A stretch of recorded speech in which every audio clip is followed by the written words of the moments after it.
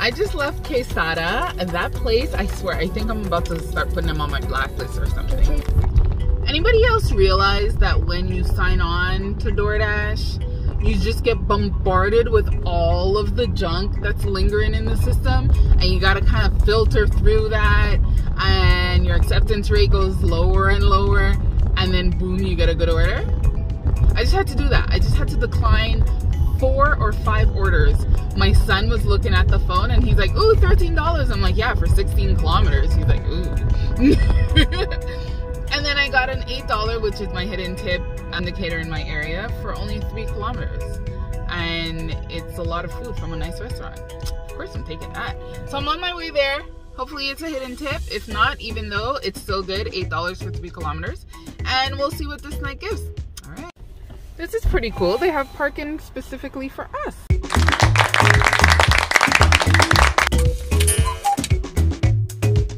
Are you crazy, Montana? Are you crazy?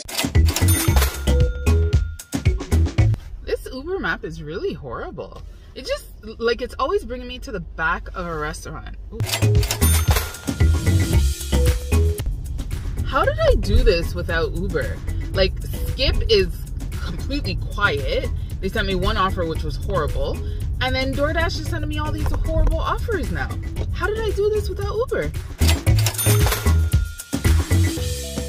I just left Quesada. That place, I swear, I think I'm about to start putting them on my blacklist or something. I had to wait so long when I went into the restaurant because once again, they were ridiculously slammed the floor was messy. They didn't even start the order when I got there.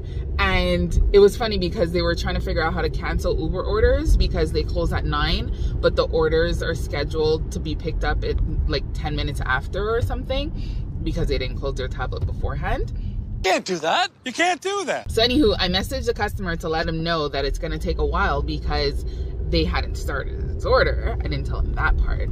But when I got to his house, he was waiting outside for me with an extra five, an extra five dollar tip. I was like, oh, thank you so much. Although he tipped six dollars in the app because it was a hidden tip, he gave me an extra five dollars. Super thankful. So nice of him. The McDonald's close to my house closed their doors really early, so now we gotta wait outside. I don't I don't know if I want to take any more McDonald's orders. Spoke too soon! So I don't know if this was the same order that I saw about two hours ago or if this was a new order, but I saw a Wendy's for about 12 something going pretty much to the same area. I believe it had like the same information about an hour or two ago. And when I just saw it pop up, I was like, ah, they added more money onto it. And I just delivered it because now it actually made sense for me to come out into the boonies to deliver this Wendy's order. So now I'm making my way back into civilization. It really wasn't that far. It was 10 minutes away. it's just that it seems very far because there's no restaurants out here. So I'm going to be driving this back without any orders. So yeah, but at least they tipped well. You know where I am.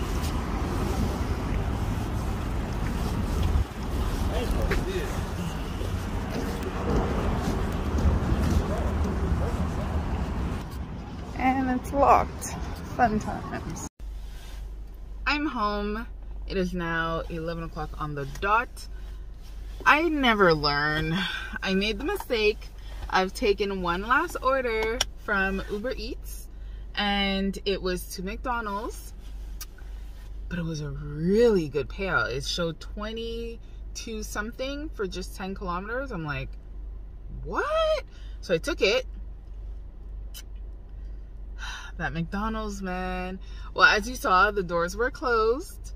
So I had to go to the other side, knock on the door, and then she came and she took the number and I didn't see anybody for another 15 minutes and then I knocked again and I was like uh, hello and they're like which numbers is it? It was a different person and then she brought me the bags. I don't know how long they were there. This is the thing that I don't like with going to McDonald's when they're closed. They don't see you. You're not in their face So it's like they forget about you, especially if they get busy with drive through. They completely forget about you. And how long is your order waiting there and waiting there and waiting there and just getting cold? So I never learn. I never learn. I gotta figure out something because like these McDonald's runs, especially since I do nights, I have a lot of McDonald's and the McDonald's by my house closed their door at 8:30 tonight. So there's going to be a lot of situations where I'm going to be going into the drive-through line. And obviously, you can't drive into the drive-through line because your order is most likely not ready, so they'll tell you to move to the side anyways. I got to figure out something. What do you do when a restaurant is closed and you can't stay in the drive-through line? What trick do you have because it's like it freshies me every time. And then every time I end the shift like that, like feeling like annoyed and defeated and it's not fun because I had a really good shift today. Like I made I think $105 or something. I want to feel that way. so anywho, hopefully you enjoyed the video today. Ah, goodness. It was it was fun. It was multi-apping. It was you know, going out into the boonies. Hopefully you enjoyed it. I'll see you in the next one. Bye.